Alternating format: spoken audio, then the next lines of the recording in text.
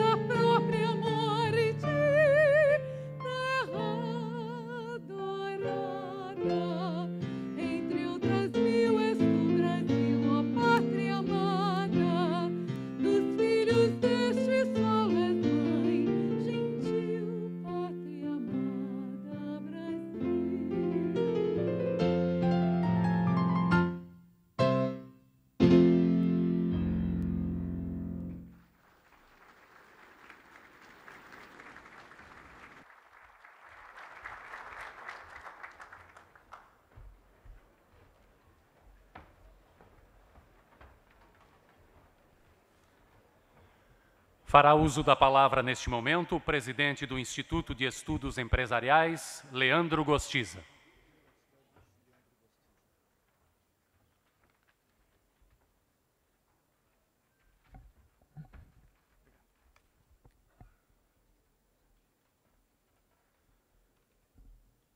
Excelentíssimas autoridades, caros palestrantes, empresários, professores, estudantes, representantes da imprensa e de entidades, meus caros familiares e colegas de IE, demais parceiros e participantes deste 19º Fórum da Liberdade, caros brasileiros que pela internet também nos acompanham. Muito boa noite, sejam bem-vindos. É a cada um de vocês que falo, é a cada um de vocês que dedico o que penso e que acredito. E o que acredito, antes de mais nada, é que as condições para um Brasil melhor foram e estão sendo criadas. Apesar do ceticismo, acredito que as decepções recentes, a dificuldade do Estado em honrar suas responsabilidades e o alto custo para mantê-lo, têm despertado a reflexão, têm despertado a consciência e a ação de nossa população. Brasil afora, não são poucos os que estão se dando conta das injustiças e que começam a se perguntar sobre o que precisamos, devemos e podemos fazer para deixar um país melhor para nós e nossos filhos. Há um movimento em curso de homens e mulheres de todo o Brasil que estão cansados de tanta insegurança, que estão cansados de ter que sustentar e ter que se curvar a uns poucos que gozam de privilégios autoconcedidos, de imunidades que os colocam acima de cidadãos comuns, e que sacrifica a justiça em nome de outros interesses, de brasileiros que estão cansados e querem dar um basta na ineficiência, no mau uso do dinheiro público e na desonestidade. Há, portanto, esperança. há trabalho e há um caminho que passa necessariamente pela percepção, pelo fortalecimento da educação e pela conscientização de nosso povo. Pois somente com um povo mais educado, certo de seu valor, seus direitos e deveres, é que seremos uma nação com um governo e não um governo com uma nação. Por isto, a importância deste debate. Com ele, nós damos mais um passo importante e esperamos reforçar que o Brasil de amanhã será o que quisermos e fizermos hoje. E que, se queremos que esse amanhã seja de fato melhor, nosso desafio passa a ser fazer com que as pessoas entendam que não cabe ao Estado a sua realização, mas que cabe sim ao Estado criar as condições de ordem e paz para que cada uma possa atingi-la.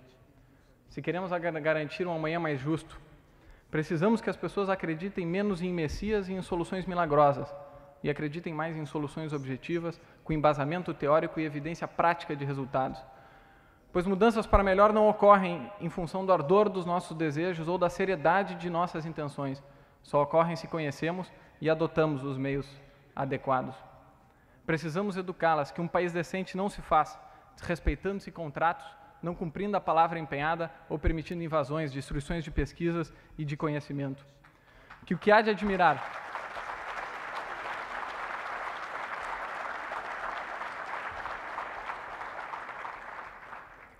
que o que há de admirar não foi e não será feito pela solicitude, pela intervenção ou pela complacência do Estado, tampouco por mais tributação, mais burocracia, mais regulamentação, que impõe restrições ao trabalho e ao indivíduo.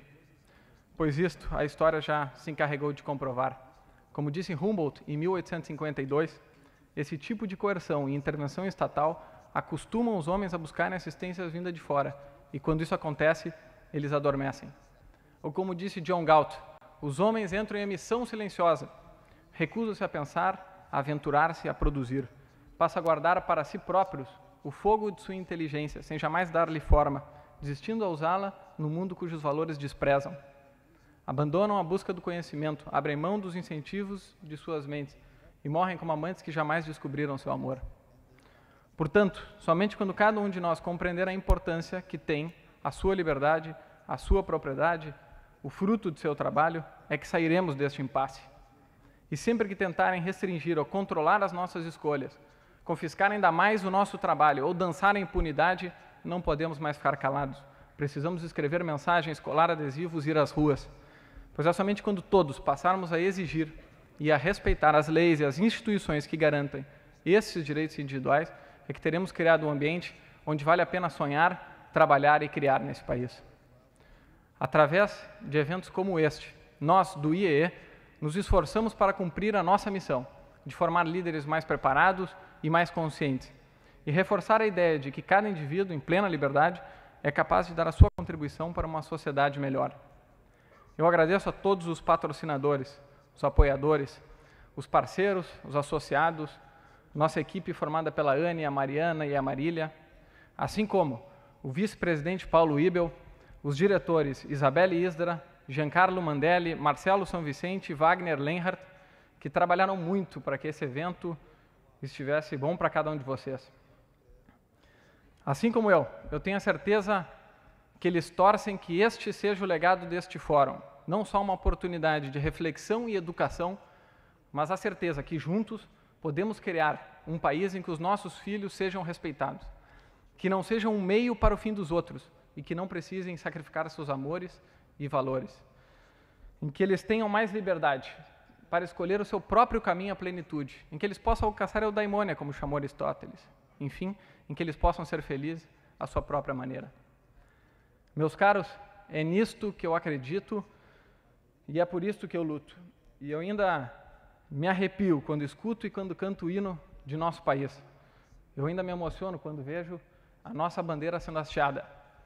Tomara que a gente seja capaz de construir e deixar um país em que os nossos filhos sintam o mesmo. Muito obrigado e um grande Fórum da Liberdade a todos.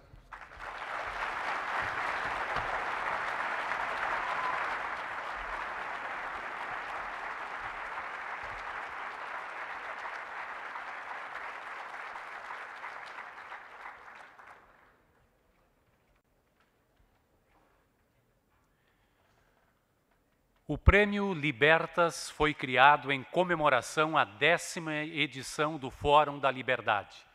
Desde 1997, é escolhido anualmente um agraciado que recebe o prêmio durante a solenidade de abertura do evento. O objetivo deste prêmio é destacar o indivíduo que é símbolo da livre iniciativa. Age segundo a economia de mercado, o respeito ao Estado de Direito e é um exemplo para todos aqueles que acreditam que a liberdade é o mais precioso fruto da sociedade. O presidente do IEE, Leandro Gostiza, fará a entrega do Prêmio Libertas 2006 a Margaret Zé.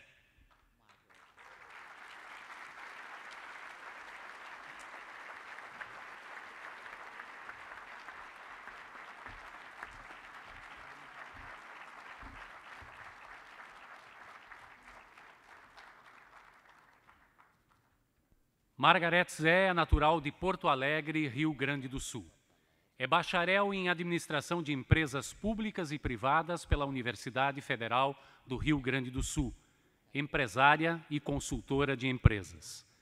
MBA e doutora em Gestão Internacional pela Universidade British Columbia, em Vancouver, Canadá. Vice-presidente executiva do Instituto Liberdade.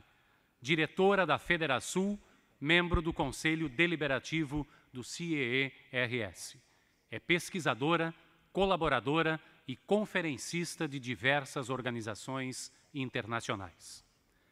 Convidamos a fazer uso da palavra a nossa homenageada dessa noite, senhora Margaret Zé, membro honorário do Instituto de Estudos Empresariais, IEE, e a primeira mulher a integrar a diretoria da entidade durante a gestão de 1990-1991.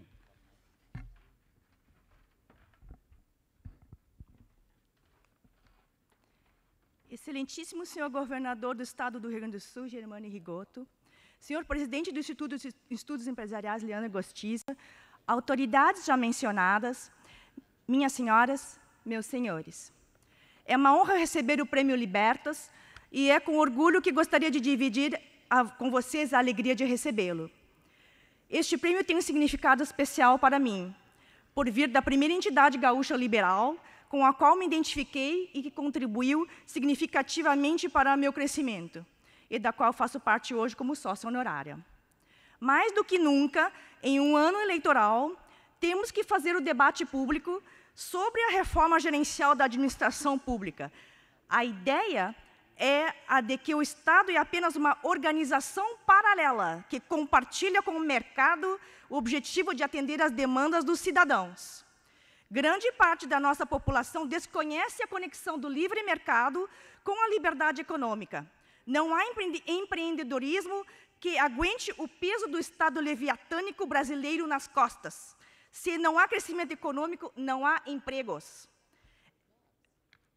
É preciso que a sociedade civil entenda a importância da redução da intervenção estatal na economia e passe também a exigir a redução dos gastos públicos, pois o desperdício do dinheiro arrecadado dos impostos é uma das origens da corrupção nas esferas governamentais. Quando é tênue a pressão exercida pelos eleitores sobre seus representantes, principalmente em democracias pouco maduras, políticos e burocratas estão livres para cuidar apenas de suas vantagens pessoais, pecuniárias e ideológicas, e dos interesses de terceiros que se organizam na busca de privilégios sem temer a represália nas urnas. É a arma que os eleitores e contribuintes têm contra o poder sufocante e egoísta dos governantes. Cabe às entidades representativas participar do processo de conscientização da população, orientando sobre a importância deste momento que vivemos. Recentemente participei ativamente da primeira etapa na montagem da Agenda Estratégica do Rio Grande do Sul 2006-2020, dentro do movimento O Rio Grande que Queremos, que reuniu membros da nossa sociedade civil, empresários, trabalhadores dos poderes. Chegamos a um consenso e, a, e apontamos os obstáculos existentes ao, ao empreendedorismo e à viabilização de investimentos de longo prazo. Sob o argumento da busca do bem comum, vivemos uma, vivemos uma desvirtuação do Estado de Direito, violado muitas vezes pela Constituição de 1988.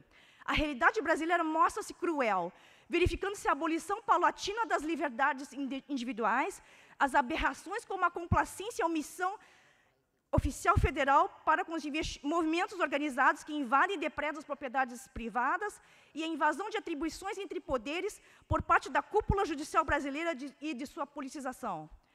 Just, justamente por ser o Fórum da Liberdade, trata-se de um espaço livre a todas as opiniões. Acredito que a liberdade é o mais precioso fruto da sociedade humana e a liberdade se exerce através do debate. É nesta batalha no campo das ideias que pretendemos dividir esta visão comum que temos no IEE sobre a defesa da liberdade individual e da redução do poder arbitrário do governo. Como cidadãos, temos de ter a consciência de que o país depende mais da sociedade do que dos governos. Tudo porque acreditamos num amanhã melhor. E, por fim, eu concluo citando uma frase clássica de Thomas Jefferson, de eterna atualidade. O preço da liberdade é a eterna vigilância. Obrigada.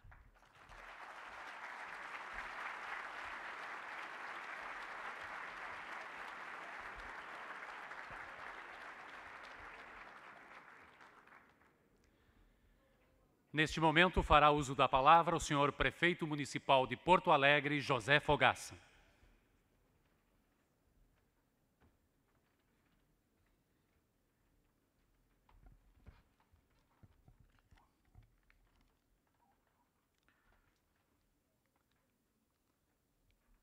Caro governador Germano Rigoto, caríssimo presidente Leandro Gostiza, do Instituto de Estudos Empresariais. Saúdo o presidente da Assembleia, Fernando Zacchia, em nome e através dele quero saudar todos os representantes políticos aqui presentes. Saúdo o Poder Judiciário, através do desembargador Vasco de la Justina, o representante eh, da Procuradoria-Geral do Estado, em exercício, procurador Carlos de Avelar Bastos.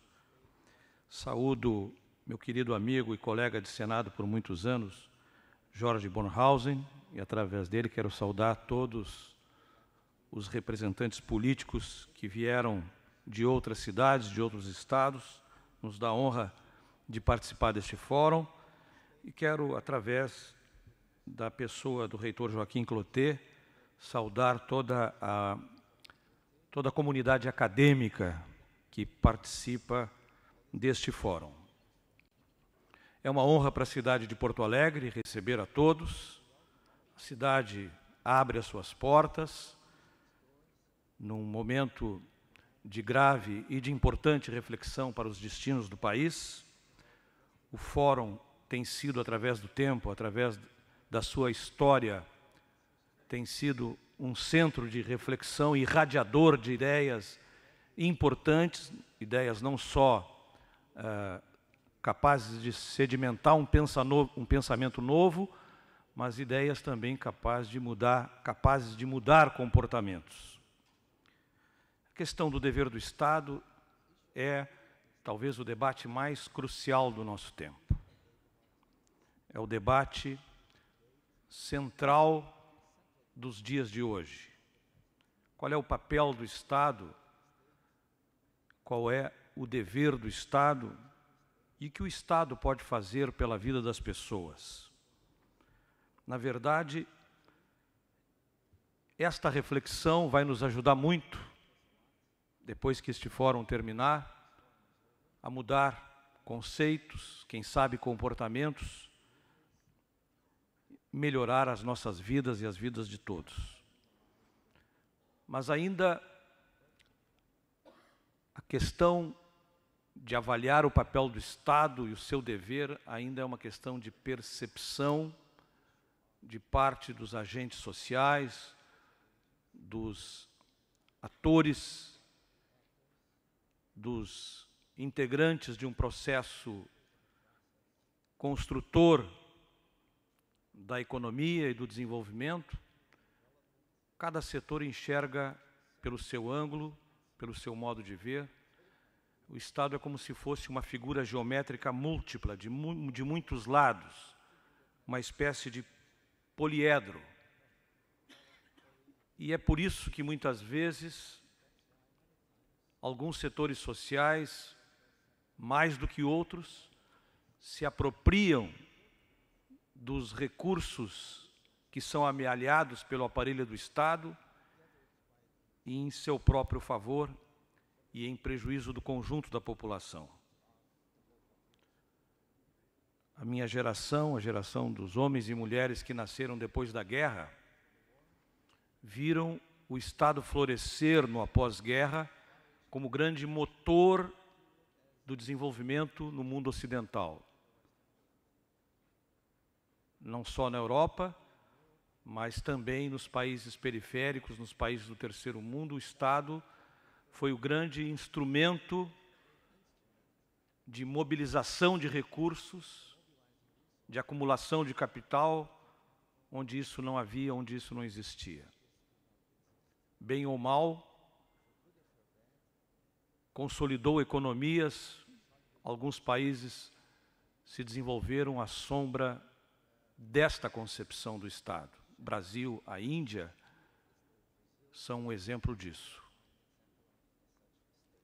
Ao final do século XX, veio o ciclo, um novo ciclo, o ciclo da, das privatizações. Ciclo necessário, mas infelizmente não completado inteiramente no Brasil. Neste século XXI, neste início de milênio, superados os ciclos anteriores, talvez a grande pergunta que nos caiba fazer é se o Estado é capaz de produzir justiça ou é capaz de produzir injustiça social, produzir junto à população e junto à sociedade um desequilíbrio que resulta, é claro, em mais sofrimento, mais pobreza e mais degradação. Esta que é uma pergunta que eu acho que o fórum nos ajudará a responder de alguma maneira. É a descoberta de que o Estado tem uma imensa e talvez incalculável capacidade de também produzir injustiças. Quando ele permite que determinados setores se apropriem daquilo que é amealhado, aquilo que é poupado pelo conjunto da sociedade. Portanto, o Estado pode ser sim um elemento importante do ponto de vista da justiça social para cumprir um papel e o dever de atender a população que mais precisa, para prover saúde, prover educação. Mas o Estado também pode ser um instrumento de injustiça e de desequilíbrio quando ele, ao beneficiar alguns setores, ao permitir que alguns setores sejam favorecidos, esse mesmo Estado sufoca e mata a capacidade do setor privado em gerar empregos. E este fator de desequilíbrio dá ao Estado um poder enorme nos tempos de hoje. É preciso que todos nós reflitamos sobre isso Pensemos sobre esta questão.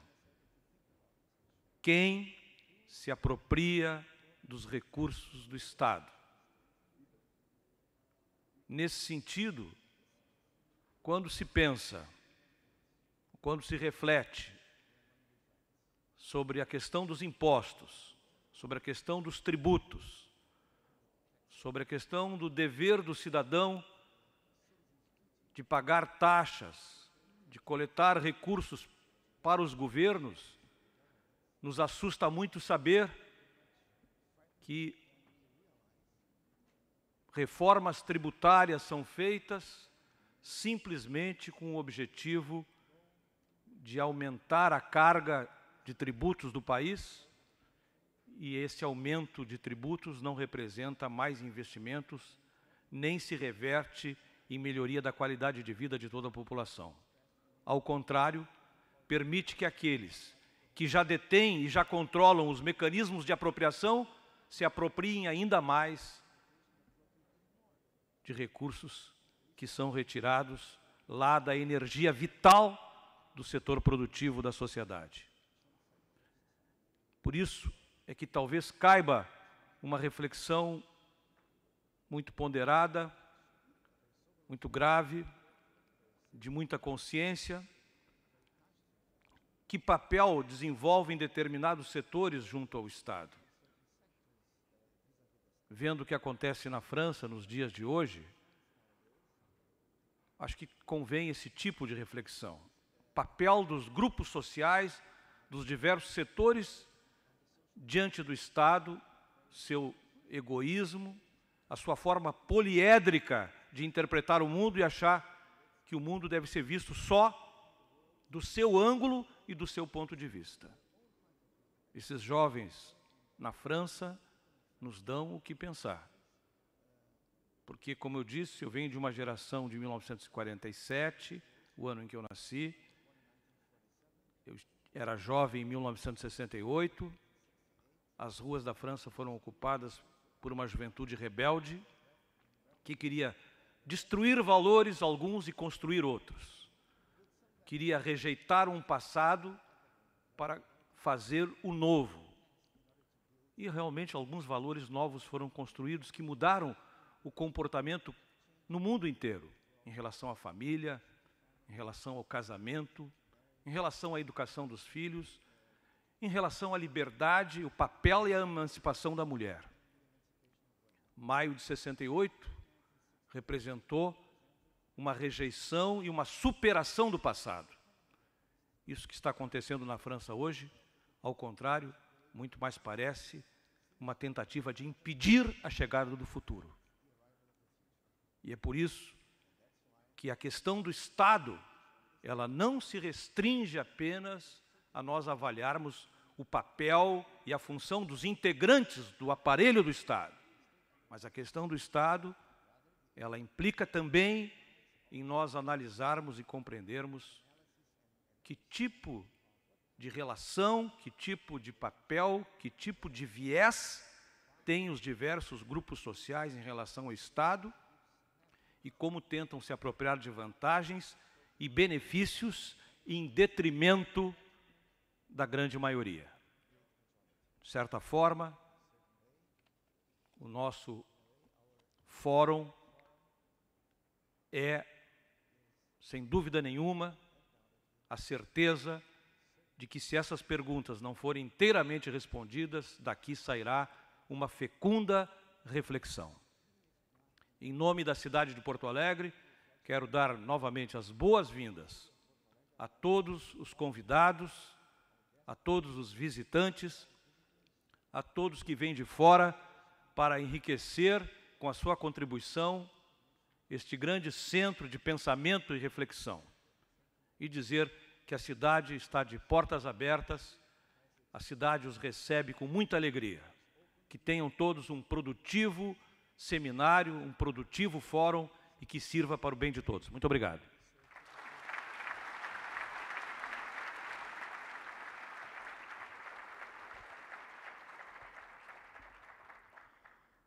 Fará uso da palavra neste momento o senhor governador do estado, Germano Rigoto.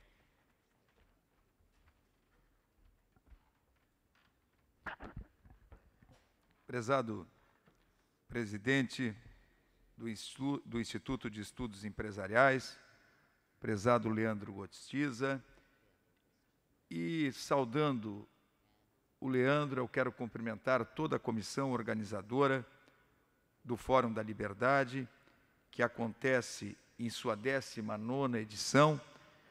Da mesma forma, cumprimentar os associados, a direção do Instituto de Estudos Empresariais, senhor presidente da Assembleia Legislativa do Estado, deputado Fernando Záquia, saudando todos os senhores deputados, senhor desembargador Vasco de la Justina, vice-presidente do Tribunal de Justiça do Estado, saudando todos os membros do Judiciário, senhor Procurador-Geral de Justiça do Estado em exercício, doutor Antônio Carlos de Avelar Bastos, cumprimentando o nosso Ministério Público, meu prezado senador da República, Jorge Borhausen, a minha saudação, cumprimentando também os senhores parlamentares federais, senhor prefeito municipal de Porto Alegre, senhor vice-prefeito, prefeito José Fogaça, vice-prefeito Eliseu Santos, presidente da Câmara de Vereadores Humberto Goulart, e uma saudação muito carinhosa ao nosso reitor da Pontifícia Universidade Católica do Rio Grande do Sul,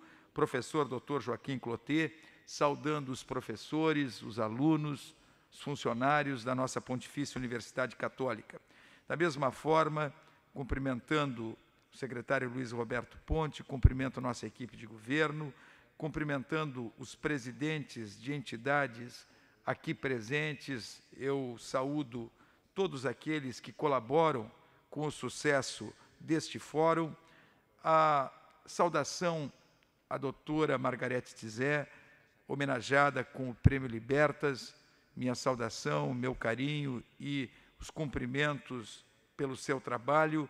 Da mesma forma, cumprimento todos os palestrantes na pessoa do palestrante desta noite, Prêmio Nobel de Economia, Douglas North, saudando todos os nossos visitantes e quero da mesma forma cumprimentar a imprensa, os senhores empresários, senhoras e senhores, acadêmicos aqui presentes. Os totalitarismos não apenas descreem da sociedade e da democracia. A lista de suas descrenças é enorme.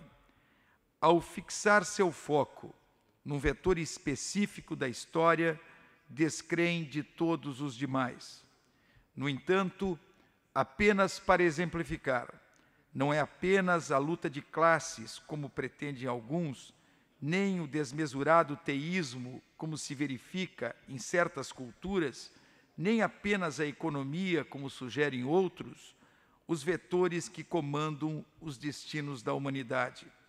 A história é uma construção da política, da geografia, das religiões, da economia, da cultura num sentido amplo, da livre vontade dos indivíduos e, não raro, inclusive do próprio acaso.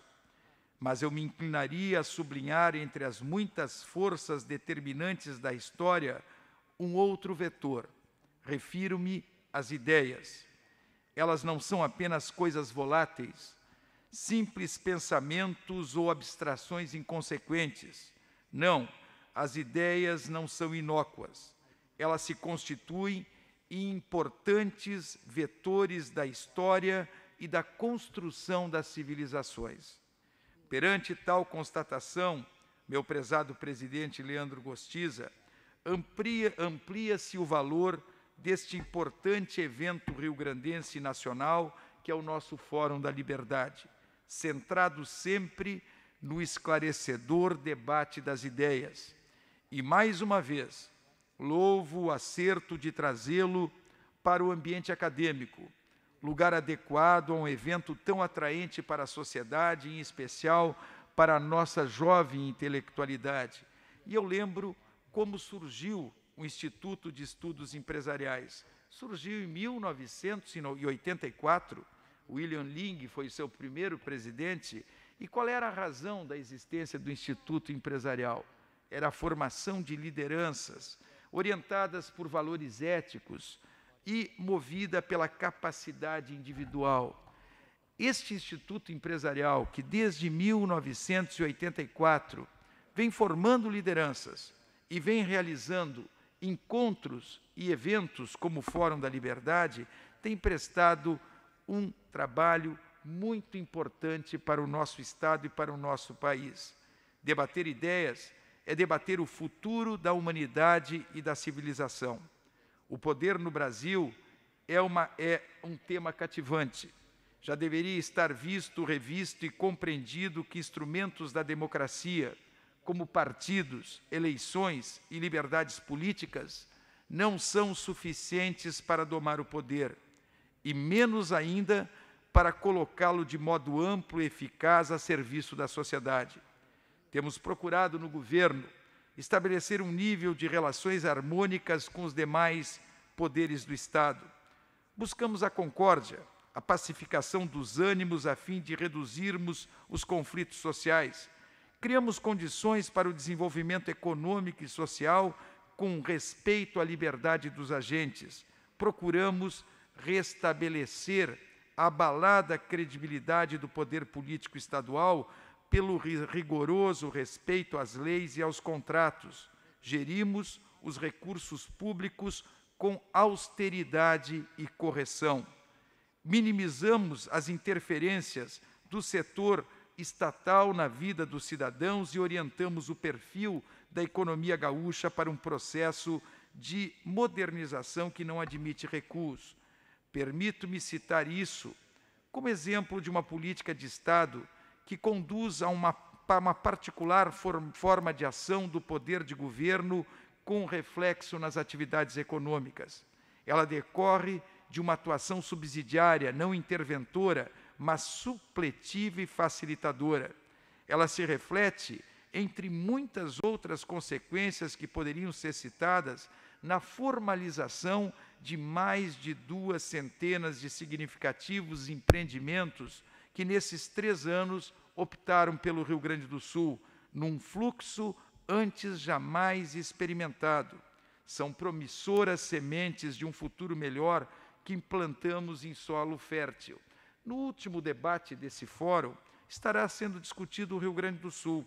E eu vejo os debatedores, inclusive todos eles aqui presentes, que é o Dr. Jorge Gerdau, que vai participar desta última palestra, que é o, Denis, que vai ser um dos palestrantes dessa, dessa última palestra, e também uh, o, o, o Raul Veloso, que é um especialista em questão de, principalmente, enfrentamento de despesas e controle de despesas no Estado.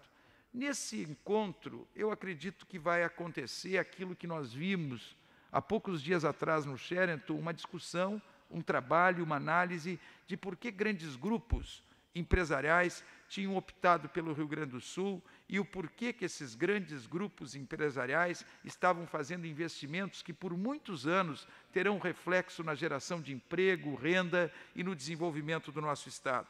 Se nós olharmos o crescimento da nossa economia no primeiro ano do nosso governo foi superior ao crescimento nacional. No segundo ano, foi praticamente em cima do crescimento nacional. E no terceiro ano, tivemos um problema que, na verdade, significou todo um conjunto de dificuldades, principalmente pela maior estiagem da história que se abateu sobre o Rio Grande do Sul e os efeitos de uma política econômica, de uma política cambial, de uma política monetária que atingiu muito mais o Rio Grande do Sul que qualquer outro estado da federação.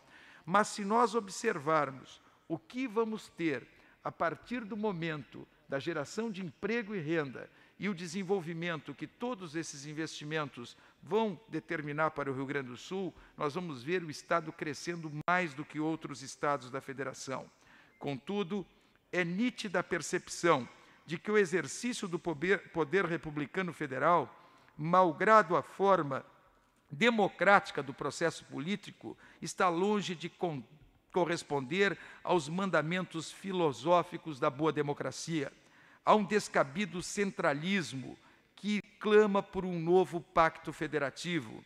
Há uma desmesurada convergência de receitas para a União e uma péssima participação e repartição das obrigações entre os entes federados há uma regra do jogo político que não apenas convive com várias formas de corrupção, descontroles de gestão e fisiologismos e confunde coisas tão distintas como Estado, governo e administração. Como a tudo isso estimula enormemente. Passam-se os anos, sucedem-se os governos, sobrepõem-se as crises, avolumam-se os escândalos, persiste a impunidade e permanecem pendentes de execução as grandes reformas que nosso país precisa executar como fundamental lição, não apenas de casa, para usar o termo vulgar, mas como berrante lição de prolongada experiência histórica.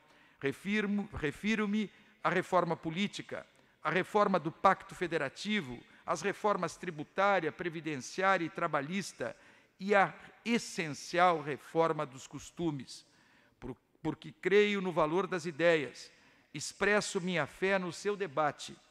É o que certamente fluirá como decorrência do tema proposto por esse 19 Fórum da Liberdade. Sejam bem-vindos os nossos visitantes que aqui acorrem para enriquecer este evento com suas próprias ideias e experiências. Parabéns mais uma vez ao Instituto de Estudos Empresariais. Eu desejo a todos uma jornada de trabalho, uma jornada útil ao Brasil e proveitosa àqueles que amam a pátria e desejam elevá-la ao nível das nações, onde a democracia gerou frutos e de prosperidade, de justiça e também de justiça pela qual ansiamos. Eu vi, meu prezado Leandro, algo que representa bem a razão deste fórum. Tu estava dizendo na apresentação do 19, na 19 edição do Fórum da Liberdade algo que não disseste no teu pronunciamento. Tomara que com este fórum, com esses debates, nós possamos inspirar, gerar curiosidade e despertar anseios. Tomara que possamos provocar a reflexão e trazer ideias e medidas coerentes e consistentes o que há de mais justo para garantir os direitos de vida, propriedade e liberdade e garantir o desenvolvimento. Tomara que, por fim, possamos ajudar na construção das condições para uma vida mais livre, mais justa e mais digna para todos os brasileiros. Esta é a razão da existência do Fórum da Liberdade. Por isso, aos palestrantes, aos 6 mil participantes inscritos, o meu desejo de muito sucesso pelo bem do nosso Estado e do nosso país. Muito obrigado.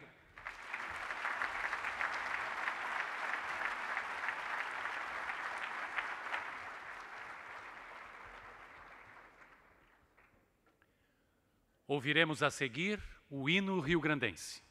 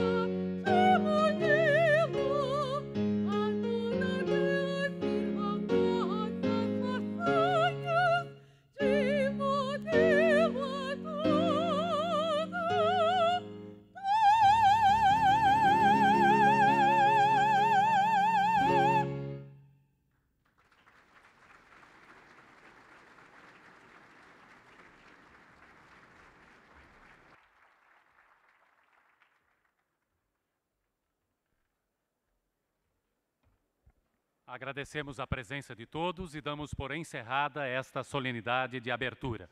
Solicitamos que as autoridades ocupem os lugares reservados na primeira fila do salão e os participantes do 19º Fórum permaneçam em seus lugares para que dentro de alguns instantes possamos dar início à palestra especial Os Líderes e o Estado que Precisamos.